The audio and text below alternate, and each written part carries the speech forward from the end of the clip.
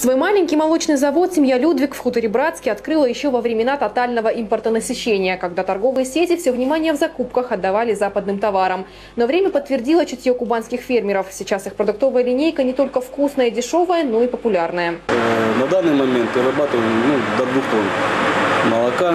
Люди, ну, кто попробовал, становятся сторонниками того, что натуральная действительно продукция. Качество натурпродукта – главный маркетинговый ход таких небольших частных молокопереработок, делятся с главой региона бизнесмены. Вся продукция отсюда попадает на столы не позже, чем через 12 часов. Сейчас здесь еще собираются осваивать и новое производство вареников.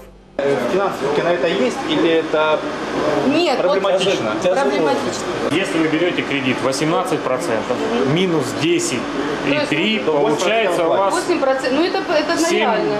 Вы подаете заявление, я вместе с вами посмотрю, как реально вы получите э, субсидированную, субсидирование этой статы. В эпоху перестрелки с санкциями кубанских фермеров открылись широкие поля возможностей. В семье Богатыревых занимаются не самым легким и рентабельным видом сельского хозяйства – молочным животноводством, но уже готовы расширяться и отстраивать новое хозяйство. Ферма сама по себе источник э, на ее строительство. Заемные средства, как предполагаете? Заемные, естественно, сами мы не сможем позволить. Знаете, но если есть такое мощное желание э, вот, у них сделать собственную ферму и стать фермерами, то, что приветствуется мною и вами, и нами, как мы можем э, вот, работящим, энергичным, верующим в завтрашний день и людям помочь? у нас дается начинающим фермерам гранты на приобретение техники, на улучшение э, условий, э, материальное пополнение материально-технической базы. И дальше можно участвовать в программе «Семейная ферма», где мы даем также грант на строительство семейной молочно-товарной фермы. Услышал? Давай, через год на твоей ферме. Договорились? Краснодарский край теперь вообще флагман по части импортозамещения в России, особенно что касается молочки. Рыночный вакуум местные производители заполнили в первую очередь сырами, творогом, йогуртами и маслом. Усть-Лабинский молочный завод «Традиция» с географией своих поставок сумел вырасти из регионального в национальный. Наша продукция нашла высокий отклик во всех городах, и у нас э, большое представительство в Москве, Санкт-Петербурге, и кубанское качество именно было признано лучшим. Принципиально это качество не потерять.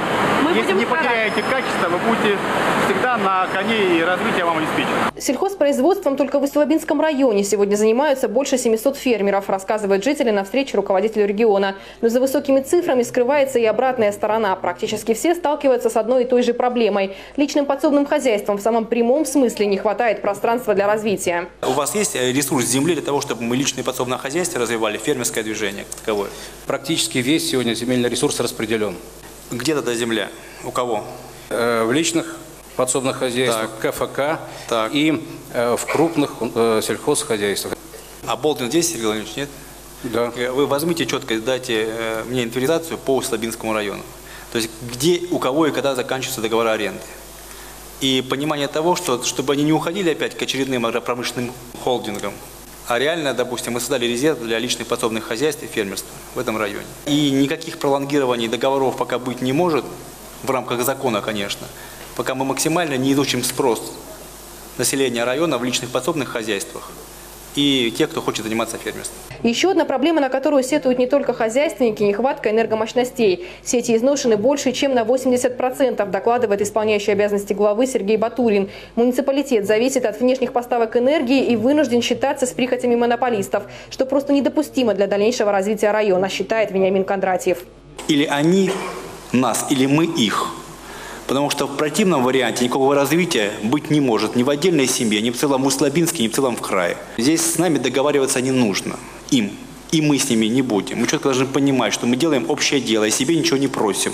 Мы говорим о том, что жители, которые живут, неважно, в Услабинске и иных районах, и в целом крае, имеют право на достойную нормальную жизнь. И экономика имеет право развиваться. Не по их хотелкам и желаниям, а по тому, как требует этого реальная экономическая ситуация в целом.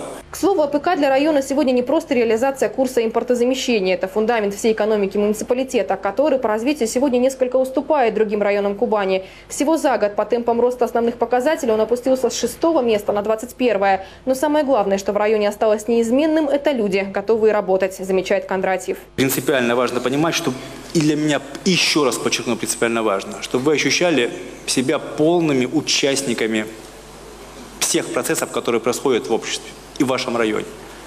Вот я хочу, чтобы каждый житель в целом края это понимал и осознавал, что его услышат, И я готов слышать. Я готов понимать и реально сверять часы с вашим пульсом. Свои часы. И если ваш пульс явно зашкаливает за ту стрелку циферблата, который положен быть, я готов реагировать. И не эти бумажки. Видите, какой большой текст тут написали? Я должен был читать, читать, читать, читать. Ну, и без этого хорошо поговорили, так? Мария Крошна, Александр Иванченко, Денис Перец Денис Москаленко, Кубань 24, Услабинский район.